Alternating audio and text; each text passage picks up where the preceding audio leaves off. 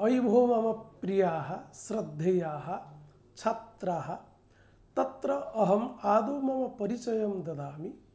अहं सूर्यमणिरथः, राष्ट्रियसंस्कृतसंस्थानस्य, श्रीसदाशिवपरिसरस्य, पुरीस्थस्य साहित्यविभागे मुख्यः अध्यापकः अस्मि। तत्र आचार्यपदवीमध्ये विद्यमानेन मया काव्यप्रकाशस्य पञ्चमोल्लासस्य पाठः भवतां पुरस्तात् प्रस्तूयते। भवन्तः जानन्ति, आचार्य मम्मटेन विरचिते अस्मिन् काव्यप्रकाशे दश उल्लासाः सन्ति। दश उल्लासेषु पञ्चम उल्लासः अन्यतमः अस्ति।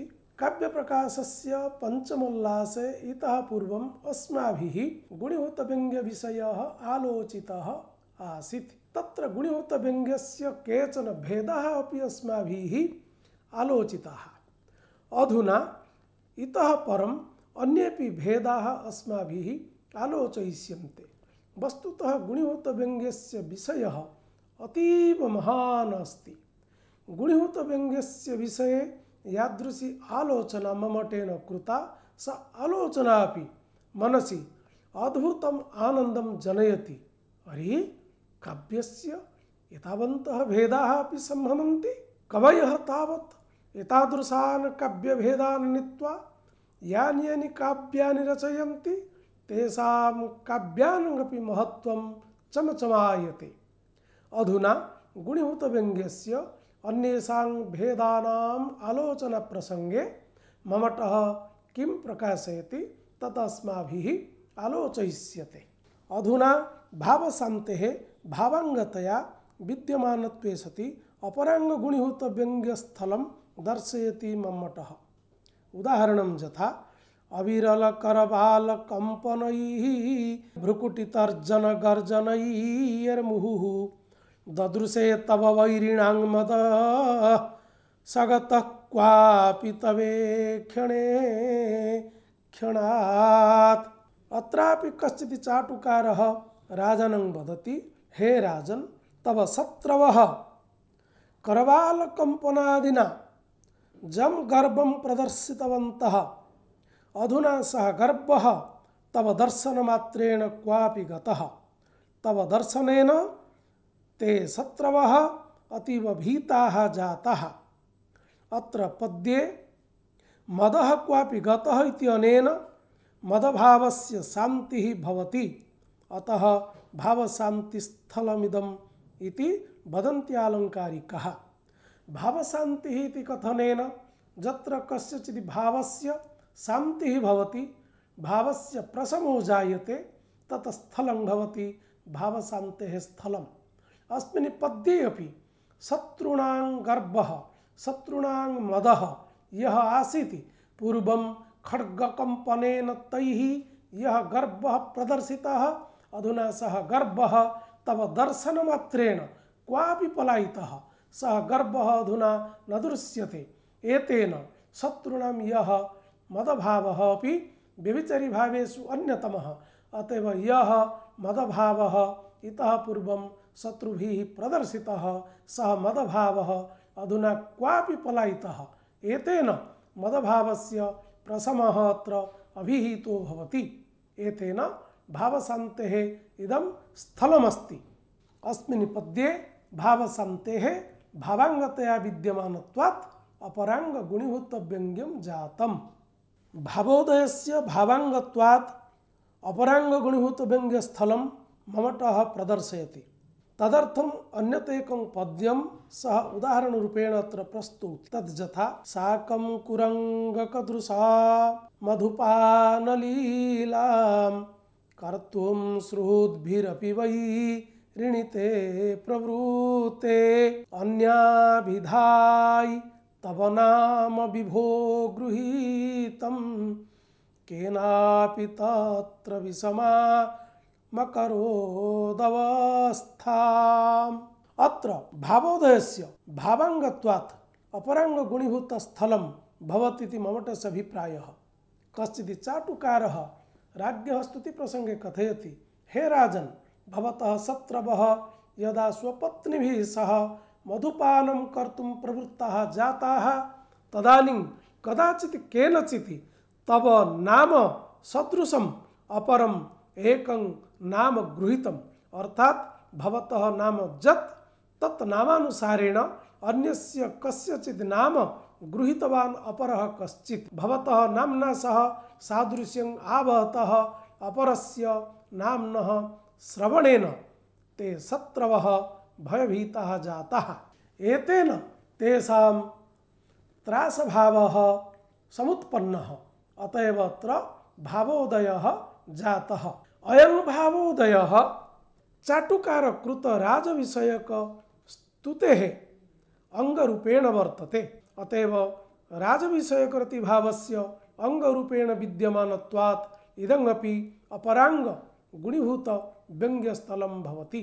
भावसन्धेः भावाङ्गत्वात् जायमानम् गुणीभूत व्यङ्ग्यस्य स्थलं यथा असोढा तत्कालो लसदसः भावस्य तपसः कथानां विस्रम्भे स्वथ च रसिकः शैलदुहितुः प्रमोदं बोधिस्यात् कपटवटुवेशापनयने त्वरा शैथिल्याभ्यां जुगपदभियुक्तस्मरहरः।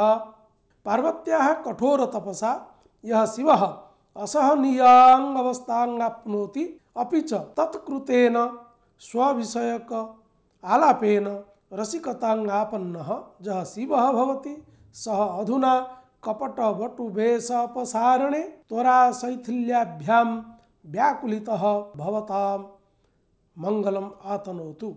अर्थात् यः शिवः रसिकः आसीत्, अधुना स्वकपटवटुवेश अपसारणे सः विचलितः जातः, व्याकुलितः जातः। केन प्रकारेण?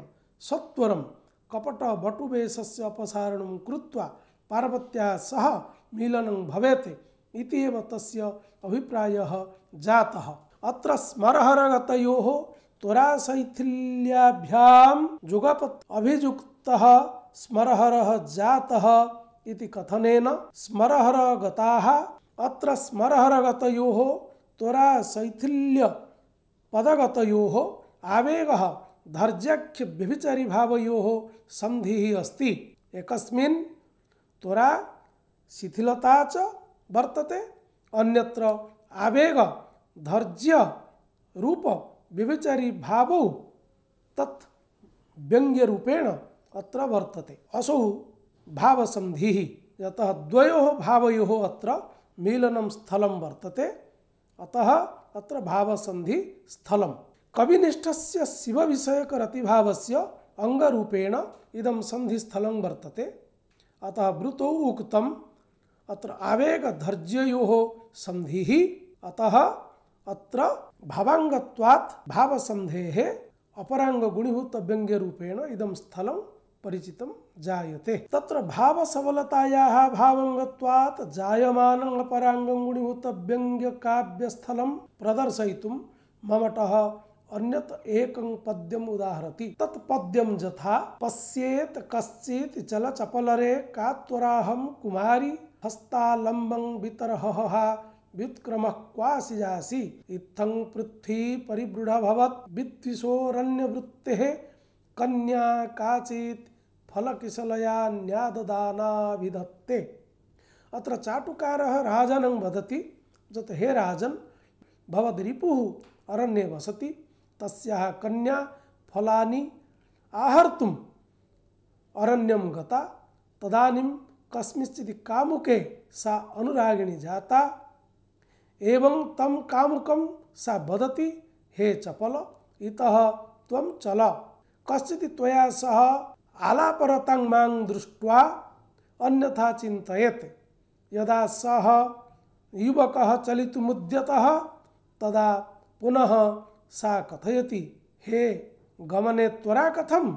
अहं कुमारी अस्मि, मयि करावलम्बनं वितर। माँ विहाय। इतः त्वं न चल। अत्र पश्यत् कश्चित् इत्यत्र शङ्काभावः। चल चपलरे इत्यत्र असूया। का त्वरा इत्यत्र धृतिः। अहं कुमारी अस्मि इत्यत्र स्मृतिः। हस्तालम्बं वितर इत्यत्र श्रमः। हहहा इत्यत्र दैन्यं च इत्यादि व्यभिचारी भावाः तिलतण्डुलन्यायेन सम प्राधान्येन अत्र आस्वद्यमानाः सन्ति। अतः भावसबलितायाः इदमेव स्थलम्।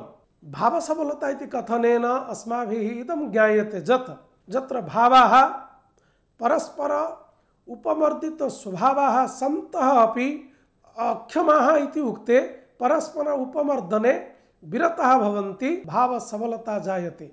भावानाम् एकत्र अवस्थानं भावसबलता अस्मिन् पद्ये पश्येत कश्चित् चलचपलरे का त्वराहं कुमारी, हस्तालम्बं वितरहः व्युत्क्रम कुत्र जासि इत्थं पृथ्वी परिवृढभवत् विद्विषारण्यवृत्ते कन्या काचित् फलकिसलया न्याददानाभिदत्ते। इति अस्मिन् पद्ये अनेके भावाः सम्मिलिताः सन्ति। अतएव अनेकेषां भावानाम् एकत्र स्थितियोगेन अत्र भावसबलता जायते। एवं रूपेण इतराङ्ग गुणीभूतव्यङ्ग्यस्य अनेकानि स्थलानि ममटेन अत्र प्रदर्शितानि। तत्र उदाहरणमाध्यमेन स्पष्टरूपेण एतद् ज्ञायते यत् अपराङ्ग गुणीभूतव्यङ्ग्यम् इति उक्ते न एकं स्थलं कुत्रचित् वर्तते, अपि च एवं रूपेण तत्र अनेकानि स्थलानि तत्र स्थालीपुलाकन्यायेन ममटः किञ्चित् किञ्चित् आनीय, यतः कुतः अपि किञ्चित् किञ्चित् पद्यं समीचीनरूपेण आनीय, अत्र अस्माकं पुरस्तात् प्रदर्शयति। यत् गुणीभूतव्यङ्ग्यस्य इतराङ्गगुणीभूतव्यङ्ग्यस्य इतराङ्गभेदरूपेण यत् स्थानमस्ति वा इतराङ्गगुणीभूतव्यङ्ग्यरूपेण यः भेदः अस्ति, तस्य भेदस्य अपि अनेन अस्माभिः आलोचना कृता। एते तावत् रसवद अलङ्कारः इति ममटस्य अभिप्रायः नास्ति, परन्तु अन्ये केचन आलङ्कारिकाः कथयन्ति, एते तावत् रसवत अलङ्काराः। तेषां मतमानीय ममटः तेषाम् उक्तिम् अत्र उद्धृत्य कथयति, एते च रसवद अलङ्काराः। एते रसवदादि अलङ्काराः रसवदादि नाम्ना प्राचीन आलङ्कारिकैः भावः दण्डि प्रभृतिभिः स्वीकृताः सन्ति। रसवत् प्रेयः ऊर्जस्वी च इति त्रयः अलङ्कारतया स्वीकृताः, परन्तु भावशान्तिः, भावसन्धिः, भावोदयः भावसबलता च इति अलङ्कारतया न स्वीक्रियन्ते। आनन्दवर्धनाचार्यः अभिनवगुप्तश्च अस्मिन् प्रसङ्गे नीरवौ अतः यदि कश्चित् ब्रूयात्, येषां कादशा तर्हि शिष्य शिक्षणार्थं ममटः कथयति यथा रसवत्, प्रेयः, ऊर्जस्वी इति अलङ्काराः स्वीकृताः, तथा भावोदयादीनामपि अलङ्कारत्वम्।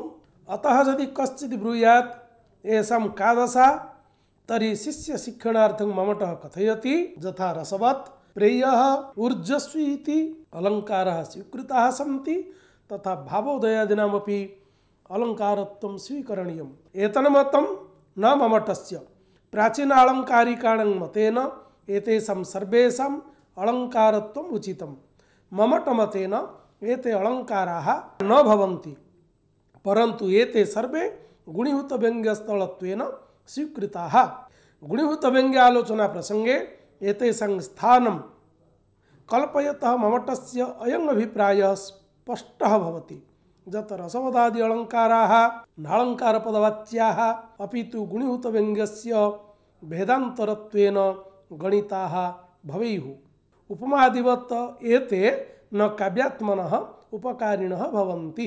अत्र अयम् अभिप्रायः एते रसवदादि अलङ्काराः प्राचीनैः भामहादिभिः आलङ्कारिकैः स्वीकृताः सन्ति। ममटमतेन एते रसवद अलङ्काराः अलङ्कारपदवाच्यत्वेन न गणनीयाः भवेयुः।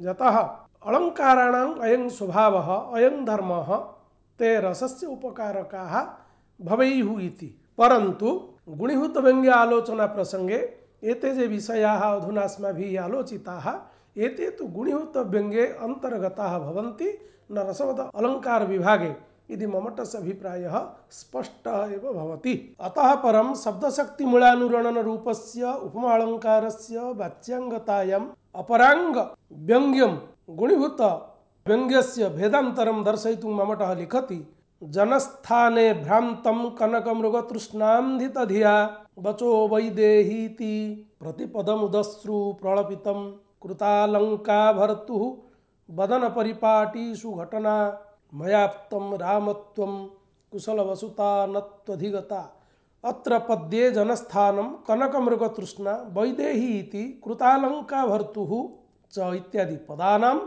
शब्दशक्तिमहिम्ना अर्थद्वयं भवति।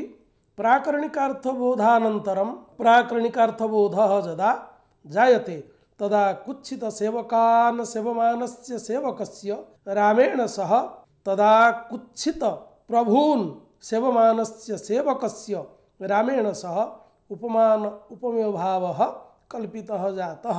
एतेन अत्र उपमा आगच्छति। कविगत दैन्याख्य व्यभिचरी भावस्य अंगतया इयं उपमा वर्तते। अतः अपरांग गुणयुक्त व्यङ्ग्यस्य इदं स्थलम् इति ममटस्य अभिप्रायः। वृतोऽपि ममटः एतत् प्रतिपादयितुं लिखति। अत्र शब्दशक्तिमूल अनुरणनरूपः। रामेण सह उपमानुपमेय भावः वाच्यतां नितः। अर्थशक्तिमूलस्य संलक्ष्य क्रमव्यङ्ग्यस्य वस्तुरूपस्य वाच्यङ्गतायाम् अपराङ्गगुणीभूतव्यङ्ग्यस्थलं यथा आगत्य सम्प्रति इत्यादि पद्यम् अत्र पद्ये कमलिनी खण्डिता नायिकारूपेण चित्रिता अस्ति। कमलिनी वृत्तान्ते, नायकस्य वृत्तान्तः अपि आरोपितो भवति। पद्ये विद्यमानानां पादपतनं सहस्ररश्मिः विसंष्टुलाङ्गी इति पदानां चमत्कारी अर्थान्तरमपि वर्तते। शब्दशक्तिबलेन अर्थान्तरमिदं बुध्यते।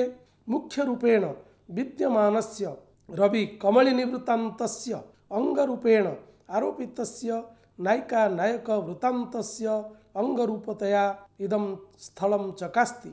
अतः अपराङ्गगुणीभूतव्यङ्ग्यस्य स्थलमिदम् इति ममटेन प्रतिपादितं भवन्तः जानन्ति गुणीभूतव्यङ्ग्यस्य भेदेषु वाच्यसिद्ध्यङ्गम् इति अपरः कश्चित् भेदोऽपि वर्तते। तत्र अगूढम् अपराङ्गत्वेन गुणीभूतव्यङ्ग्यस्य भेदद्वयं विविध उदाहरणमाध्यमेन अधुना यावत् अस्माभिः आलोचितं गुणीभूतव्यङ्ग्यस्य विभिन्न उदाहरणमाध्यमेन एतद् भेदद्वयस्य आलोचनानन्तरम्। अधुना आचार्यः मम्मटः गुणीभूतव्यङ्ग्यस्य तृतीयं भेदं प्रदर्शयति। एतदर्थं सः एकं समीचीनं पद्यम् उदाहरणरूपेण अस्माकं पुरस्तात् प्रस्तौति। तत् पद्यम् अधुना वयम् आलोचयामः। गुणीभूतव्यङ्ग्यस्य अयं भेदः भवति वाच्यसिद्ध्यङ्ग गुणीभूतव्यङ्ग्यभेदः यत्र व्यङ्ग्यं वाच्यस्य सिद्धिकारी भवति तत्र वाच्यसिद्ध्यङ्गतया तस्य स्थितिर्वर्तते इतः पूर्वम् अस्माभिः आलोचितं, यत्र व्यङ्ग्यं स्वतन्त्ररूपेण तिष्ठति, व्यङ्ग्यर्थस्य प्राधान्यं वर्तते, तत्रैव ध्वनिः भवति। व्यङ्ग्यार्थस्य वाच्यार्थापेक्षया प्राधान्ये सति ध्वनिः इति सर्वेषाम् अलङ्कारिकाणाम् अभिप्रायः। परन्तु यत्र मुख्यतया विद्यमानः व्यङ्ग्यार्थः। वाच्यार्थस्य सिद्धिकारित्वम् आप्नोति, अर्थात् वाच्यार्थस्य प्रसिद्धिं करोति, वाच्यार्थस्य जाथार्थ्यं प्रतिपादयति, तदानीं स एव व्यङ्ग्यर्थः स्वप्राधान्यं हारयति। अतः तत्र वाच्यसिद्ध्यङ्ग गुणीभूतव्यङ्ग्यस्थलरूपेण तत् स्थलम् आपतति। अधुना तादृशस्य एकस्य स्थलस्य आलोचनाम् अस्माभिः अत्र करिष्यते। अधुना तादृशस्य एकस्य स्थलस्य आलोचना अस्माभिः अधुना करिष्यते। सावधानतया भवन्तः शृण्वन्तु। एतदर्थम् एकं समीचीनं पद्यं ममटः अपि उदाहरति। तत्र वर्षाकाले विरहिणीनाम् अवस्था कथं भवति? तत्र ये विरहिजनाः सन्ति अथवा याः विरहिण्यः सन्ति, तेषां तासां वा अवस्था कथं भवति? सा अवस्था अस्मिन् पद्ये आचार्येण अत्र स्थापिता। अत्र यः कविः अस्य पद्यस्य रचयिता अस्ति, सः कविः विरहिणीनां विरहिणं वा अवस्थां अत्र वर्णयति। सावधानतया अत्र अस्माभिः श्रोतव्यं, मन्तव्यं। किमस्ति अस्मिन् पद्ये?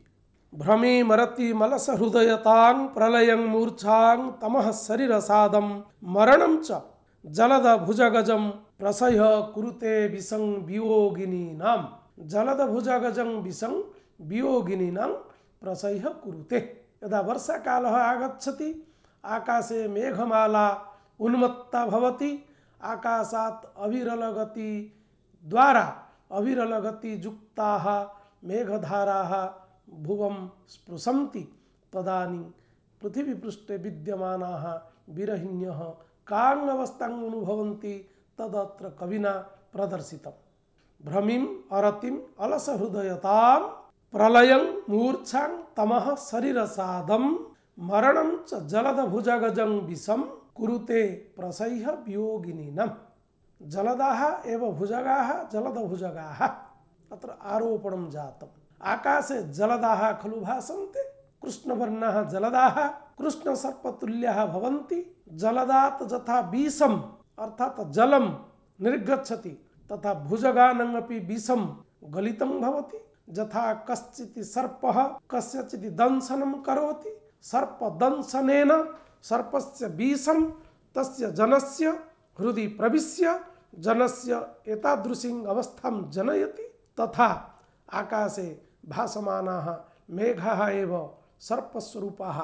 तेषां सर्पस्वरूपाणां मेघानां विषं जलं यदा विरहिणीनां हृदयं स्पृशति, तदानीं विरहिणीनामपि एतादृशी काचित् अनिर्वचनीया अवस्था जायते। यथा सर्पदंशनेन भ्रमिः जायते, अलसहृदयत्वं जायते, अरतिः भवति, तमः जायते, मूर्छा जायते, शरीरे विषादोऽपि जायते।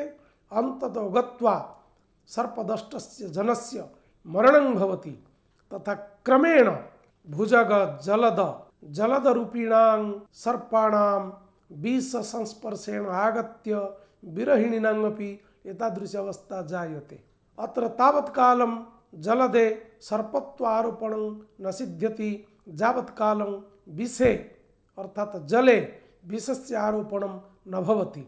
अतः व्यङ्ग्यम् आगत्य अत्र वाच्यार्थस्य सिद्धिकारी भवति। यावत्कालं वाच्यस्य सिद्धि व्यङ्ग्यं न करोति, तावत्कालम् अस्मिन् पद्ये अर्थापबोधो न जायते। अतः अत्र व्यङ्ग्यर्थः वाच्यार्थस्य सिद्धिकारित्वात् वाच्यसिद्ध्यङ्गं जातम्। अतः वाच्यस्य सिद्धिकारित्वात् व्यङ्ग्यर्थः दुर्बलः जातः, स्वप्राधान्ये सः स्वस्थितिं संरक्षितुम् असमर्थो जातः। अतः तस्य व्यङ्ग्यर्थस्य गुणिभावो अभवत्। एतेन इदमेव गुणिहुतव्यङ्ग्यस्य तृतीयभेदस्य स्थलमिति ममटस्य अभिप्रायः स्पष्टरूपेण अस्माभिः आकल्यते। पुनः वाच्यसिद्ध्यङ्गस्य अन्यतपि एकं स्थलं दर्शयितुं ममटः उदाहरति, गच्छाम्यच्युतदर्शनेन भवतः किं तृप्तिरुत्पद्यते किं त्वेवं विजनस्थयोर्हतजनः सम्भावयत्यन्यथा इत्यामन्त्रणभङ्गिसूचितवृथा वस्थानखेदालसाम् आश्लिष्यन् पुलकोत्कराञ्चिततनुः गोपीं हरिः पातु वः अस्मिन् पद्ये काचित् गोपी कृष्णं वदति, हे अच्युत, अस्मिन् निर्जने स्थाने केवलं भवतः दर्शनेन मम तृप्तिः कथमपि न जायते। त्वया सह एकाकिनी माँ विलोक्य खलजनाः अन्यथा चिन्तयेयुः। अतः अहम् इतः गच्छामि। शृङ्गारक्रीडार्थम् आमन्त्रणं कुर्वतीं गोपीं, ततः परम् आलिङ्गन हरिः अस्मान् पातु। अत्र आमन्त्रणभङ्गिसूचितवृथावस्थानखेदालसा इति गोपिकायाः या अवस्था वर्णिता अस्ति। सा अवस्था खलु वाच्यः अयं वाच्यः तावत् न सिद्ध्यति, यावत् अच्युत इति पदे गोपिकायाः स्वलुण्ठवचनं व्यङ्ग्यरूपेण न प्रतीयते। यः च्युतः न भवति, सः अच्युतः। परन्तु मया सह रमणं कर्तुं भवान् अनिच्छन्, च्युतः भवति। अतः अत्र अवस्थानं वृथा इत्यादि व्यङ्ग्यं वाच्यार्थस्य सिद्धिकारित्वात् वाच्य सिद्ध्यंगम, गुणीभूत व्यंग्यम। ब्रुतो आचार्य लिखति, अत्र अच्युतादि पदव्यंग्यम, आमंत्रण इत्यादि वाच्यस्य। भगवान अच्युतः उच्यते, गोपिकया सह रमणं न कृत्वा सह रमण कार्यात् च्युतः भवति। एतेन कृष्णं प्रति गोपिकायाः अभिमानपूर्णं स्वलुण्ठवचनं साभिप्रायवचनं व्यङ्ग्यं भवति। व्यङ्ग्यमिदम् आमन्त्रणभङ्गिसूचितवृथा इत्यादि वाच्यार्थस्य पुष्टिं करोति। अतः वाच्य सिद्ध्यङ्गरूपेण एतदपि वक्तुं शक्यते। अतः गुणीभूतव्यङ्ग्यस्य इदं स्थानं जायते। अत्र पूर्वोक्तपद्यात् भ्रमी मरति मलस हृदयम् इत्यादितः अस्य गच्छाम्यच्युत इति पद्यस्य भेदकम् अस्ति नास्ति वा? इति प्रतिपादयितुम् उच्यते तत्र प्रथमपद्ये एकः कविः वक्ता आसीत्। तत्र प्रथमपद्ये कविः कथयति भ्रमि मरति मलसहृदयताम् इत्यादि रूपेण यत् पद्यं कविना रचितं तत्र कविः एकमात्रं वक्ता भवति। परन्तु द्वितीये पद्ये प्रथमार्धे, द्वितीयार्धे च तत्र वक्तृरूपेण भेदद्वयमस्ति। तत्र प्रथम अर्धे गोपिका भणति द्वितीयार्धे कविः भणति। अतएव द्वितीय पद्ये द्वौ वक्तारौ प्रथम पद्ये तु एकः कविः वक्ता। अनेन क्रमेण उभयोः पद्ययोः मध्ये भेदः अस्ति। अन्यत् सर्वं समानम्। अर्थात् प्रथमपद्ये यथा अपराङ्गगुणीभूतव्यङ्ग्यत्वं द्वितीयपद्येपि तथा अपराङ्गगुणीभूतव्यङ्ग्यत्वं केवलं प्रथमपद्ये एकवक्तृगतत्वेन, द्वितीयपद्ये वक्तृद्वयगतत्वेन इति केवलं भेदः। अन्यत् सर्वं समानम्। गुणीभूतव्यङ्ग्यस्य ये अष्टौ भेदाः अस्माभिः अधुना आलोच्यन्ते क्रमशः। तेषु भेदेषु अस्फुटाख्यः गुणीभूतव्यङ्ग्यभेदः अन्यतमः अस्ति। अस्फुटाख्यः इति उक्ते यत्र व्यङ्ग्यः स्पष्टरूपेण न प्रतीयते, तत्र अस्पुष्टाख्यः गुणीभूतव्यङ्ग्यभेदः भवति। व्यङ्ग्यार्थस्य स्पष्टतया प्रतीति अभावात् अस्पष्टप्रतीतियोगेन अयं भेदः आगच्छति। यत्र श्लोकस्य व्यङ्ग्यार्थबोधने श्रोता कष्टमनुभवति, स्पष्टरूपेण व्यङ्ग्यार्थस्य बोधः तत्र न जायते, एतादृशः गुणीभूतव्यङ्ग्यभेदः तत्र जायते इति ममटस्य अभिप्रायः। एतदर्थं सः लिखति एकं पद्यम् अदृष्टे दर्शनोत्कण्ठा, दृष्टे विच्छेद, भीरुता। नादृष्टेन न दृष्टेन भवता लभ्यते सुखम्। अत्र नायकमुदिस्य नायिकायाः कथनात् इदं ज्ञायते यत् भवान् मम नेत्रपथात् यथा अदर्शनीयः न भवेत्, अथवा भवतः वियोगदुःखं यथा माँ न बाधेत, तथा भवता कर्तव्यम्। एतत् व्यङ्ग्यं सहृदयानमपि प्रतितिपथं स्पष्टतया नागच्छति इति कृत्वा अत्र व्यङ्ग्यस्य स्पष्टप्रतीतिः न भवति। अतः गुणीभूतव्यङ्ग्यस्य अस्फुटाख्यः अयं भेदः इति ममटस्य अभिप्रायः। अस्फुटाख्यः गुणीभूतव्यङ्ग्यभेदः इति कथनेन। व्यङ्ग्यार्थः यत्र सहृदयानमपि स्पष्टरूपेण बोधविषयः न भवति। तत्र अस्फुटाख्यः गुणीभूतव्यङ्ग्यभेदः जायते।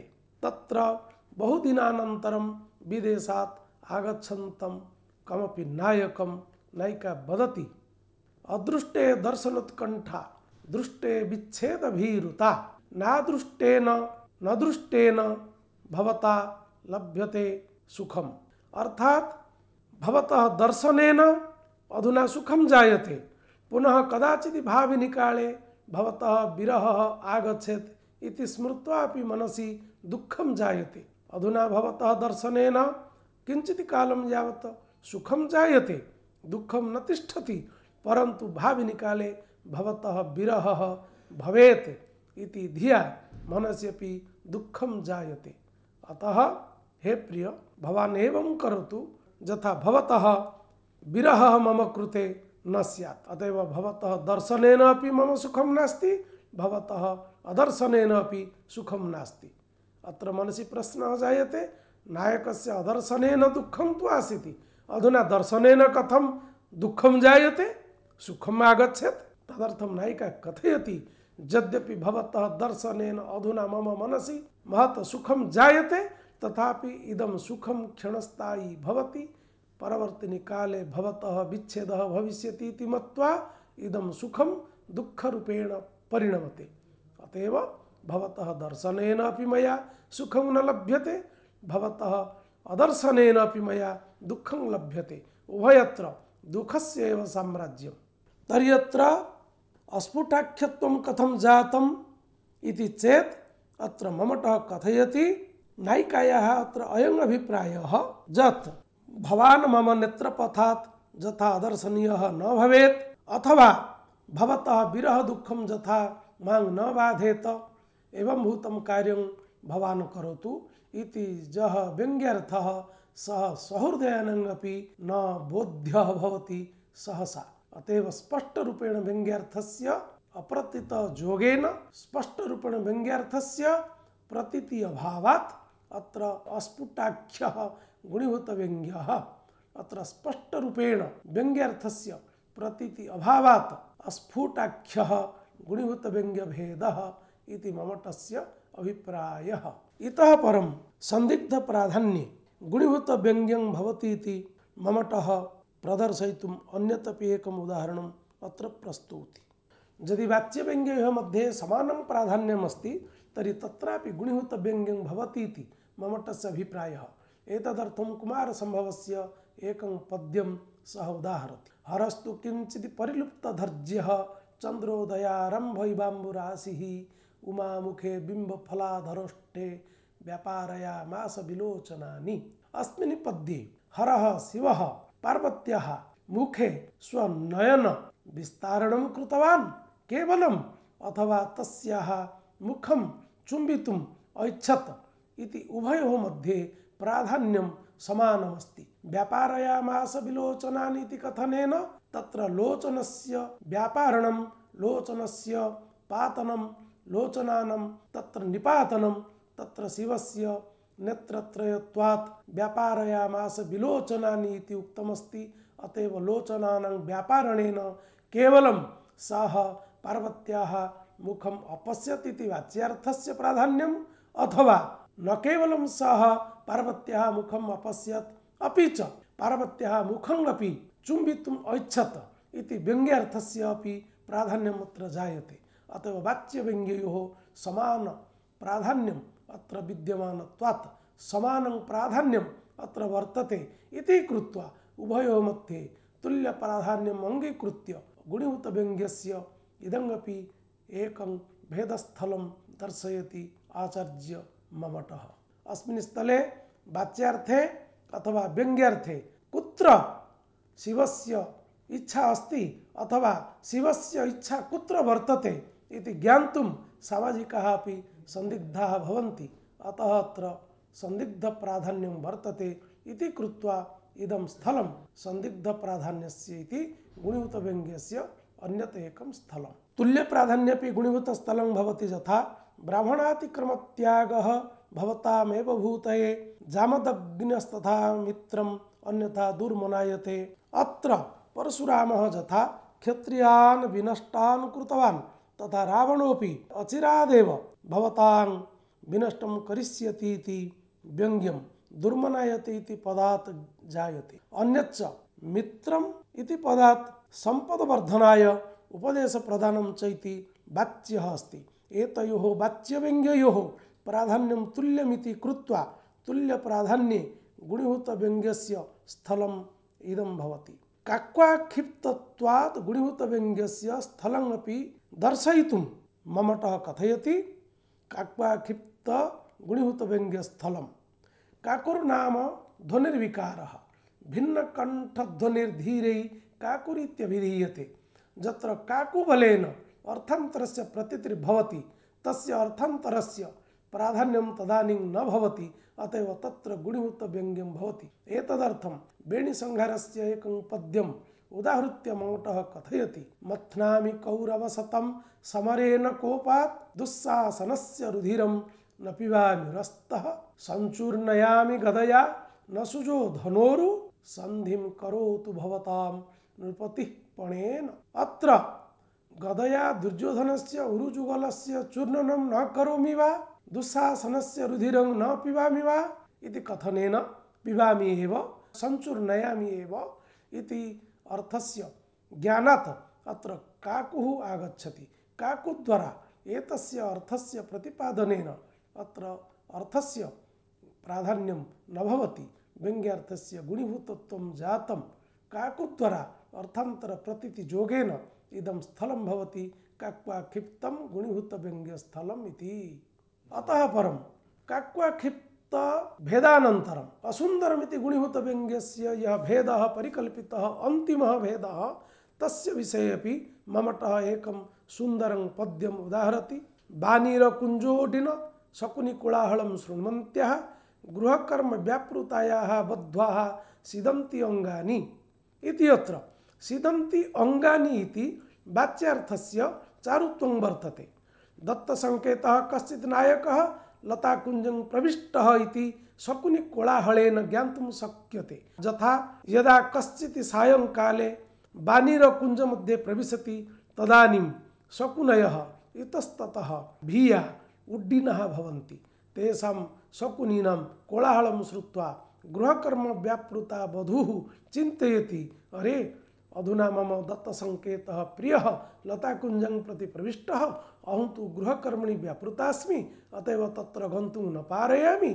भावी शृङ्गारस्य स्मरणं कृत्वा तस्य शरीरं रोमाञ्चितं भवति, तस्य शरीरं सीदति, कम्पनं जायते, अतः अत्र इदमेव वाच्यं भवति। वाच्यार्थस्य प्राधान्यम् अत्र अनुभूयते अस्मिन् वाच्यार्थे चारुत्वं जायते। परन्तु दत्तसङ्केतः कश्चित् लताकुञ्जं प्रविष्टः इति व्यङ्ग्ये तथाविधं चारुत्वं नास्ति कृत्वा अत्र आलङ्कारिकः असुन्दराख्यस्य गुणीभूतव्यङ्ग्यस्य स्थलम् एतत् इति कथयन्ति। अत्र इदं तात्पर्यं, यदि व्यङ्ग्यार्थस्य चारुत्वं स्यात्, तर्हि तस्य प्राधान्यम् अवश्यं भवेत्। व्यङ्ग्यार्थस्य प्राधान्ये ध्वनिः भवेत्, परन्तु अत्र वाच्यार्थस्य चारुत्वयोगेन व्यङ्ग्यार्थापेक्षया वाच्यार्थस्य अपि प्राधान्यं जातं येन अत्र असुन्दराख्यं गुणीभूतव्यङ्ग्यं जातम् इति आलङ्कारिकाः वदन्ति ममट्टस्य अपि अयम् अभिप्रायः। इदमेव भेदस्थलं गुणीभूतव्यङ्ग्यस्य अन्तिमभेदस्थलं भवति, असुन्दराख्यरूपेण अस्य भेदस्य गणनं क्रियते। एतावत् पर्यन्तम् अस्माभिः गुणीभूतव्यङ्ग्यविषये महती आलोचना प्रकल्पिता। तत्र गुणीभूतव्यङ्ग्यस्य एते जे अष्टौ भेदाः ममटेन प्रदर्शिताः। एतेषाम् अष्टभेदानां बहूनि उदाहरणानि अपि प्रदर्शितानि सन्ति। तत्र ग्रन्थे, मूलपाठे विस्तरतया येषाम् आलोचना अपि कृता अस्ति। तत्र दिग्दर्शनार्थम् अस्माभिः अत्र किञ्चित् आलोचितं, भवन्तः छात्राः एतन्मार्गेण गत्वा अवश्यं ममटकृतस्य आलोचनस्य गभीरतमप्रदेशं प्रति गन्तुं समर्थाः भवेयुः। इतः परम् अस्माभिः गुणीभूतव्यङ्ग्यविषये अन्या कापि आलोचना न क्रियते। इदानीं यावत् गुणीभूतव्यङ्ग्यविषये अस्माभिः या आलोचना कृता। अहं मन्ये गुणीभूतव्यङ्ग्यविषये भवतां काचित् अवधारणा अत्र जाता इति सामान्यरूपेण। पुनः पुनः अस्य विषयस्य आलोचनेन, पुनः पुनः अस्य विषयस्य पठनेन, तत्र बन्धुभिः सह आलोचनेन गुणीभूतव्यङ्ग्यविषयः भवतां सुलभः स्यात्। अतः अस्मिन् विषये अधिकं किञ्चिदहं नालोचयामि। एतावत् एव अस्तु आलोचनायाः विषयवस्तु। ओम इति सम भवतां शुभं भवतु। धन्यवादः।